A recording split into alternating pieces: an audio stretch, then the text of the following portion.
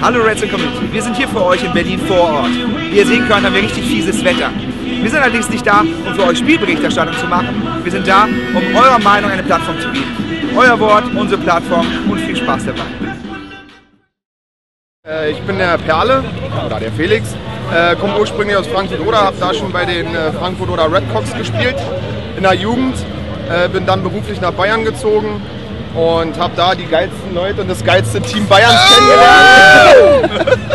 Haben dieses Jahr erfolgreich äh, die Landesliga gewonnen, ja, sind mit einer Niederlage aufgestiegen und ja, nächstes Jahr wieder Bayernliga Süd, zeigen, was wir können.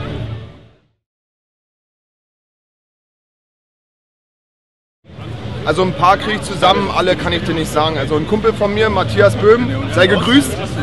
Der spielt bei den Potsdam Royals, ist da Center, damals schon zusammen in Frankfurt gespielt. Und äh, ja, verfolgt da natürlich hin, sind jetzt auch aufgestiegen, richtig geil.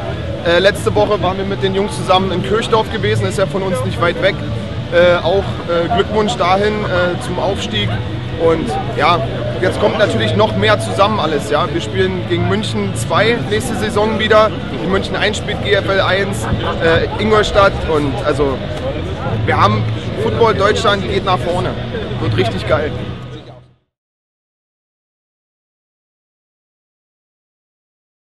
Also wir merken es auch bei uns im Verein, durch, durch dieses RAN NFL haben wir verdammt viel Zulauf, aber da sind auch viele wirklich ziemlich unerfahren, was so Football Deutschland angeht. Aber mit Red Zone und mit den ganzen Vereinen, die wir in Deutschland haben, müssen wir es irgendwie schaffen, nach vorne zu kurbeln. Also wie gesagt, das Interesse von den Jungs ist da und jetzt muss sich halt jeder selber an die Eier packen, ob er die Eier hat, Football zu spielen, weil Football tut weh. Und ja, jetzt müssen wir Gas geben, damit wir Publik machen, damit wir eben auch mal, vielleicht alle irgendwann mal in so einem riesen Stadion spielen können. Müssen wir Gas geben.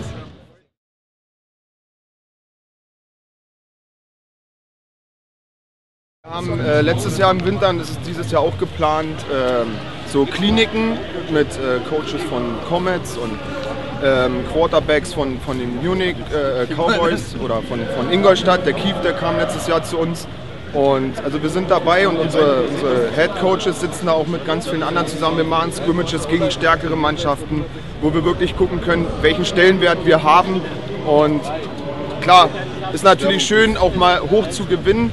Ähm, aber damit, damit kommt man nicht weiter. Ja, man kann sich nur mit Besseren messen und mit, an Besseren lernen und weiterkommen. Und das ist unser Ziel für diese Saison oder war unser Ziel für diese Saison. Wir haben ein Spiel verloren, das war, weil wir vorher, das Jahr vorher haben wir einen Scrimmage gegen, gegen, äh, gegen die Capricorns gehabt, gegen Bad Tölz. Ja, und das war halt eine Kopfsache. Ja, Im Scrimmage haben wir die wirklich vom Platz geschossen. Und jetzt äh, dann wirklich sind alle so, oh ja, schaffen wir schon, walk in the park. Ja, und dann haben wir eben doch auf den Sack gekriegt.